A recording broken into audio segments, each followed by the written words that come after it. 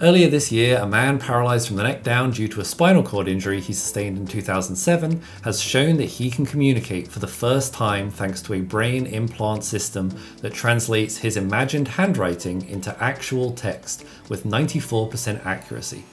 Today, we're looking at brain computer interfaces and how they might change the future.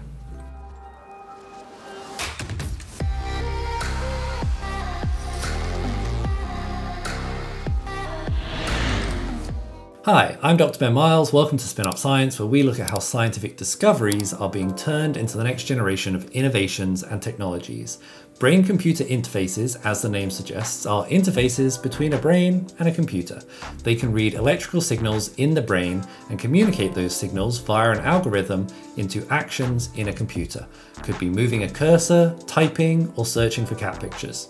Recently, researcher Frank Willett and his team from Stanford University have demonstrated a faster way to use these BCIs for writing that should allow those that have been paralyzed to communicate more efficiently. In a trial study, the team recruited a volunteer who had been previously paralyzed from the neck down by a spinal cord injury by asking the volunteer to imagine writing with a pen, embedded sensors in the volunteer's brain observed the electrical activity that the brain produced, and after the system learned to reliably recognize which letter they were imagining, could type words on a computer at a rate of 90 characters per minute, roughly the speed of someone typing on a smartphone. Similar systems to this have been around for a while and have allowed volunteers to do things like controlling a robotic limb, performing extremely dexterous tasks like picking and placing objects.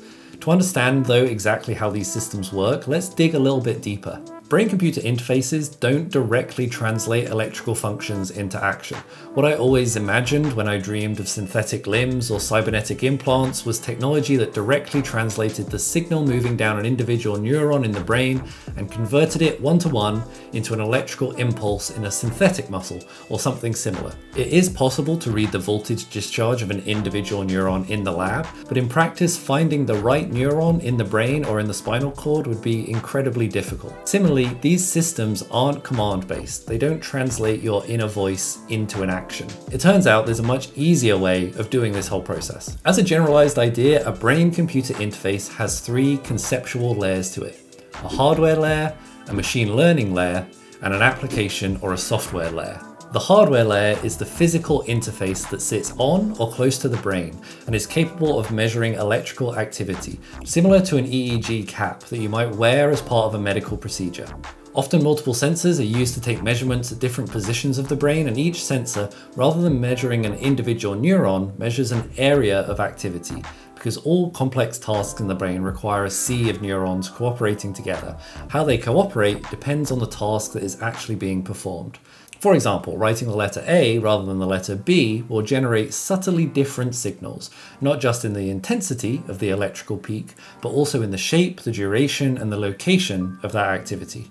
The collected signals from this hardware layer are fed either through wires or wirelessly into something called a neural network, which is a type of machine learning approach, so named as it works similarly to how your brain recognizes patterns. This neural network or machine learning algorithm runs on a computer and learns which patterns correspond to which letters. To make this work, you actually need to train the system to recognize the correct letter. You would train the system by capturing the brain activity from repeated attempts at trying to draw a particular letter. This would build up essentially a catalog of brain activity, all of which should correspond to the intent of trying to draw something like the letter A. Although all activity will look broadly very similar between any two letters, with a sufficient volume of data, the algorithm can learn the distinctive characteristics of that brain signal that's generated when writing a particular letter that make it unique. This process, this pattern recognition, is what your brain is naturally very good at doing. An example will be looking at faces. Faces have some very distinctive characteristics like eyes, ears, mouth, nose. This pattern recognition system for faces is highly tuned in human beings because understanding facial expressions and non-verbal communication is so important to us as a species.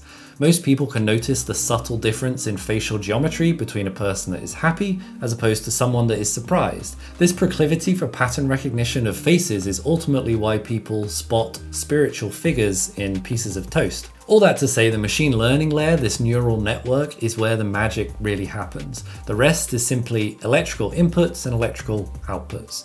The output of the machine learning layer looking at a brain signal sends a code to the application or the software layer that types a corresponding letter based on the brain signal measured and decoded. As I mentioned, these systems have been around for a while, but this most recent breakthrough was in the cerebral metaphor focused on to translate this brain to text system. Previous methods, rather than asking a volunteer to imagine handwriting a letter, asks them instead to imagine moving a cursor up and down on a screen. The system would let them pick out letter by letter, one by one, by moving the cursor towards the letter that they wanted to type. Although this system did work, it was less than half the speed, maxing out at about 40 characters per minute, which ultimately became very frustrating to the users. This ability to decode differences in imagined handwriting represents the cutting edge of distinguishing between subtle differences in brain activity. And although the work shows great promise, it is still in early stages of development and it would need to go through things like clinical trials before becoming available on a wider scale, particularly as this level of high accuracy device probably needs to be implanted directly into or onto the brain. But we already have BCIs that work outside of the skull and still do some fun things, though they'll always be hampered by the fact that they sit above a layer of facial muscles, which also create electrical signals when activated, so make subtler signals hard if not impossible to decipher. James Bruton recently released a video where he takes an off-the-shelf BCI and explores how his movements and his concentration levels map to different levels of measured brain signal activity, maybe with a view to reprogramming it to triggering his Wolverine claws.